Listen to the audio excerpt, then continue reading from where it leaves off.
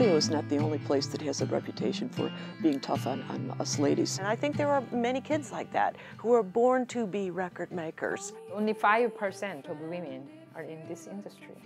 Ooh. Wow. Women are subjected to some real knuckleheads out there. I was an outsider because I was in a room filled with men. My decades were the 80s and the 90s, and you could count on one hand the prominent women who were engineers and producers in the music business.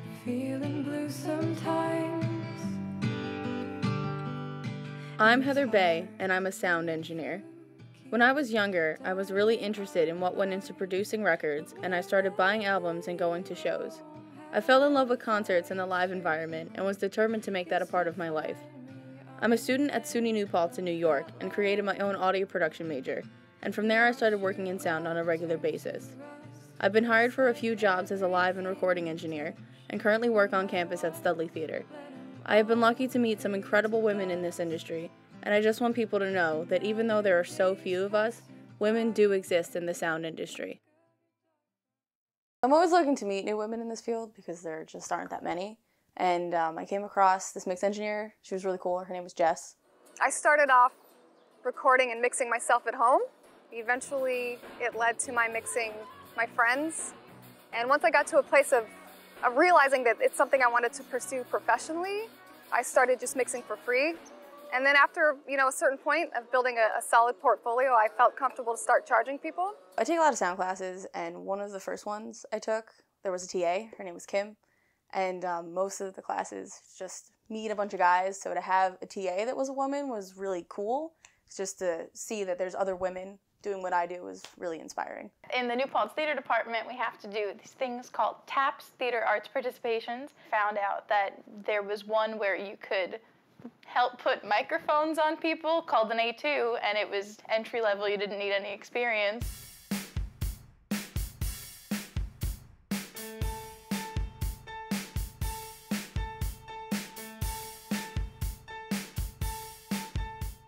So when I started getting into sound, and I was telling my family and my friends, like, this is what I want to do, I want to be a sound engineer, they were kind of concerned because only 5% of the industry are women, which is not a lot.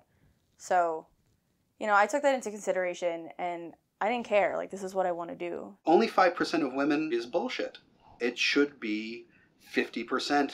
5% is still better than what it was probably 0.0005% when I was starting out because uh, I remember I was interviewed in the early 90s where they said that the number of women who were working at the highest level making commercial records in the world were there were 5 of us. so 5% is better than 5 out of, you know, a 1000 whatever it was. And when we see, we would see one another, uh, rather than be competitive, you might think that we would want to stand out. And the, the opposite was true. When we would see one another, we'd do the same thing that uh, toddlers do, like babies do when they go to daycare, and a baby walks in and sees another baby, and it's like, oh, and they, they're attracted to their own kind. I think it's way too low of a number, but I think that's changing. I mean, just for me in the last 12 months, I've seen a, a drastic change in the industry as far as uh, women in in music and in, or in sound goes, I do feel like it is on the rise.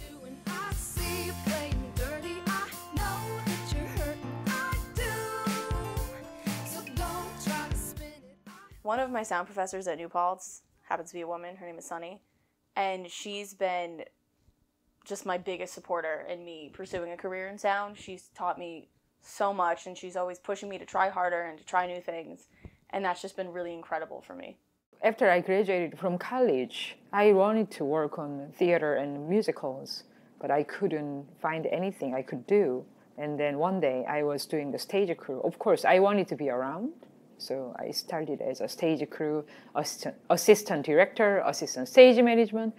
I just wanted wanted to be around the industry. And then one day we couldn't use the orchestra, and then the sound designer now he's the best sound designer in South Korea. He was recruiting people, and then he had to use a MD disc, mini disc MD player.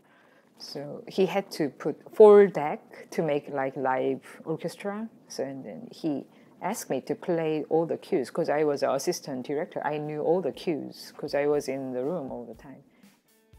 I didn't know what I was doing, but I played all those cues. And he said, I was on the beat. I was so good at what I was doing. And then he's like, Yeah, Sunny, you want to try another show? I became a mix engineer. So musicals, you have to have live sound. So I became a A2 and moved on to A1 and worked with um, other engineers from West End and Broadways, and I was inspired.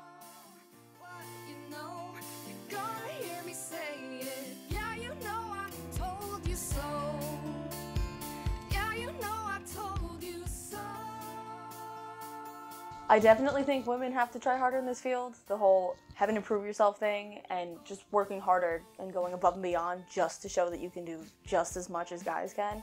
Honestly, I'm just not taken seriously right away. You know, there's always the assumption that I don't know what I'm doing, and there's confusion as to why I'm in the studio. I, I used to answer the question about obstacles to women in the workplace. I used to answer the question by saying, essentially, ladies, it's all in your head. If you don't see yourself as not being equal, then you, you, won't, you, won't, you won't have a problem. I was wrong. It's not all in your head. It's partly in your head. You have to go in with an attitude that says, bring it.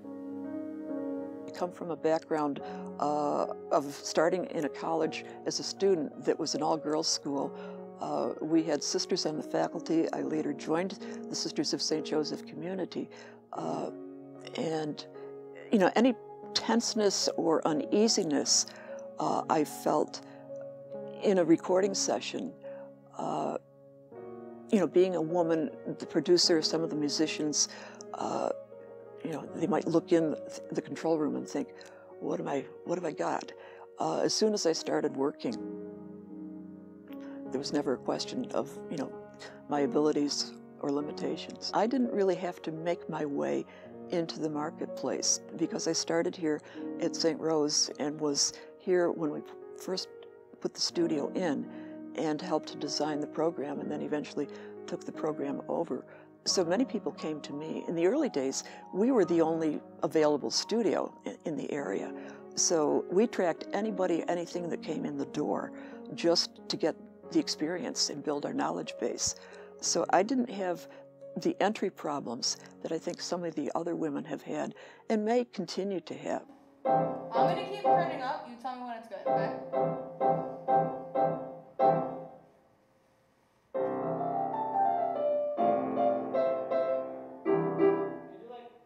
Women are super influential on the sound industry just by showing other people, and specifically other women, that they're out there and they're working in this field. And that you know women like me, younger women, can do this too. Delia Derbyshire and Daphne Oram both worked with the BBC Radiophonic Workshop. Delia Derbyshire, in terms of just developing a process for creating sounds using tape. Daphne Oram was there from the get-go, and besides just being a technological whiz, an engineer, developed her own synthesizer. Hedy Lamarr invented the frequency hopping system, which is why we have wireless. And wireless more and more is becoming prominent in the sound field because of convenience and just necessity. So it's because of her that we have wireless microphones, wireless speakers, wireless monitors, etc. On the small scale, my professor in college, uh, Sister Mary Anne Nelson at the College of St. Rose. I direct the music industry program. Uh, we're one of the oldest music industry programs, I think, in the country. We put together the program beginnings in the late 70s. I took the program over in 1981. The sisters are the ones that opened the door for me to jump into this kind of work. Um, and you know supported me and tried to understand when I'd be spending many nights all night long in the studio or sleeping in the studio to keep the equipment going uh, so the students could uh, run all night sessions. Uh, so you know they were very understanding about that. Uh, but I, I, think my whole approach I can trace back to our roots uh, as Sisters of St. Joseph of Carondelet. The phrase is to serve the dear neighbor, but basically it means to be of service to anyone, anywhere, any time, any situation. But no matter where we are or who we are, we are representing a group and a theology and a philosophy of service. Uh, so I've brought that into the workplace.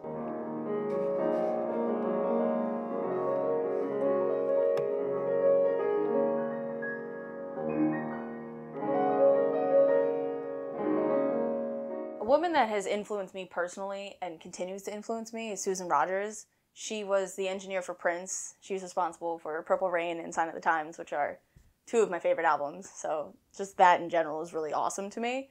Um, and she's been in the field forever. So for her to be the engineer for one of the most famous musicians is just absolutely incredible. And to do it in a time where there was so few women, it's just amazing.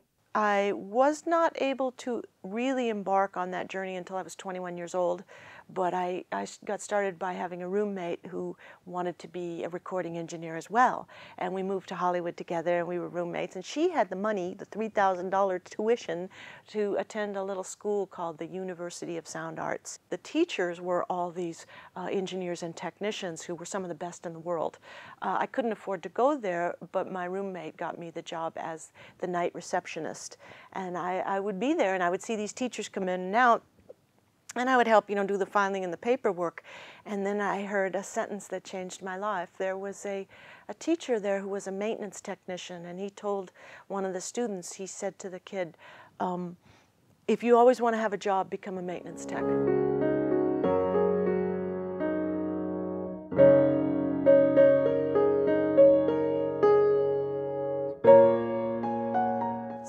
Woman in the sound industry and being really interested in live sound and pursuing live sound, an organization that has really helped me and has been inspiring to me is Sound Girls. Um, they are an organization that promotes gender equality within the sound industry as well as provides like a, a safe space for women to talk about their experiences and to network. And they also have workshops that have been really great for me and for other women and men as well. So having them as a support system has been absolutely amazing. And then there's this uh, more of a recent group called Female Frequency, who I, I'm a part of. And that's more about generating female produced EPs as a way of empowering and inspiring uh, not just women artists, but women in the production side of it as well.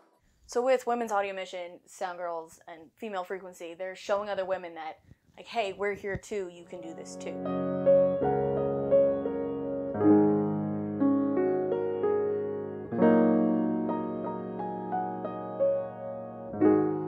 Was a, a local recording studio, well known, looking for an intern. And I had all the requirements, the experience, I mean, every bullet point they listed, I, I checked off. And so I submitted my name, my availability, whatever. And the guy called, and I was like, oh, this is cool. Like, they, they called, right? He's like, so you want to be an intern here? And I, and I could feel the vibe of his tone changing. I was like, well, yes, that's, that is why I submitted my, my portfolio and resume. And then he says, so, so how, how old are you? And he got super creepy. And then I, for some reason, answered him because I felt weird and on the spot. And he's like, oh, yeah, yeah, that's a good age. And I was like, all right, well, thank you. So I was doing another show at Studley once, and it was one of the jazz shows, and they're pretty high demand sound shows. And I was getting the stage ready and working with the musicians. And as I was coming back to get something from the board, one of the guys was like, Hey, just want to let you know, you looked really hot today with your sunglasses and your leather jacket. And I just got so pissed off because I was there to work and that was just the end of it for the night. I'm like, I don't I don't want to be near this guy anymore. Just stuff like that is really distracting when you're working and it's just it just shouldn't happen.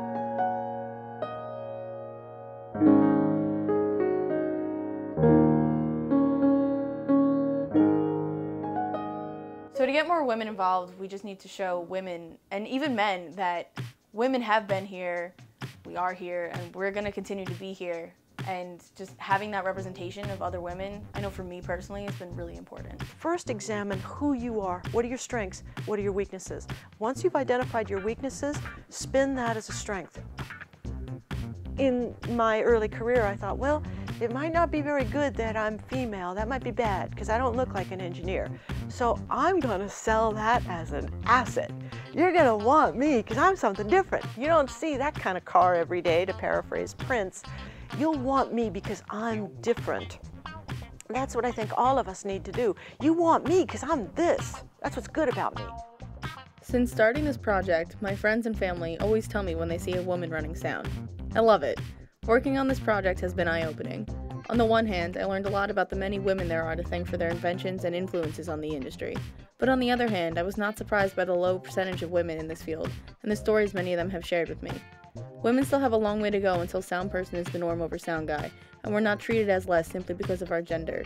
But we're getting there, and I'm excited to see what happens in the future of the industry.